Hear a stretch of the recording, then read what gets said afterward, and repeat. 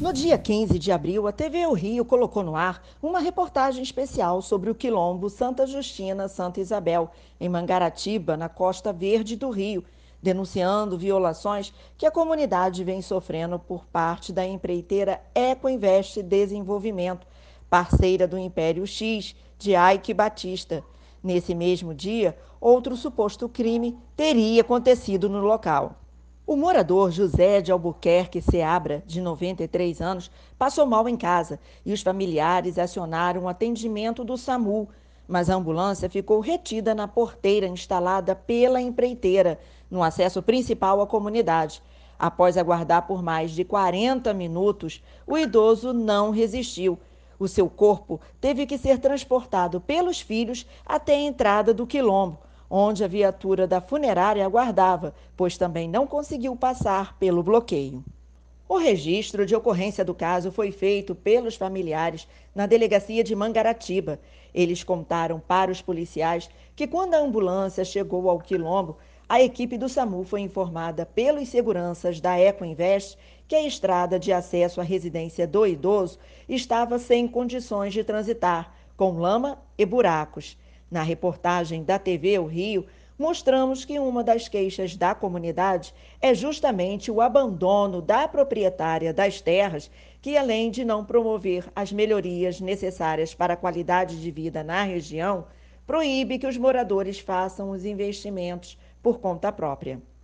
No registro de ocorrência, os parentes de José Albuquerque afirmam ainda que conseguiram um carro particular para transportar o médico da portaria até a casa da família, mas quando eles chegaram ao local, o idoso já havia falecido. O advogado que defende as causas das famílias quilombolas, Ivan Braga, disse que vai entrar na justiça com processo pedindo indenização por danos morais. José Albuquerque morava no quilombo Santa Justina Santa Isabel há mais de 10 anos, ao lado das filhas, genros e netos. Segundo Ivan, há duas semanas, uma das filhas havia levado o idoso para uma consulta médica, quando foi constatado um quadro de infecção urinária e ele estava fazendo uso de antibiótico.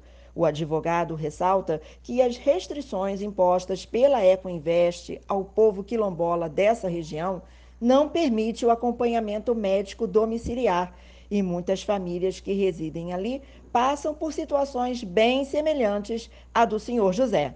Toda visita que chega para que chega em qualquer casa de quilombola aqui, ela é parada na porteira, ela é, é, é, é, tem que ser toda identificada, o carro, ele de certa forma ele é revistado, a pessoa não percebe, mas ele é revistado, tá? E um detalhe, a porteira fica trancada 24 horas, acadeado.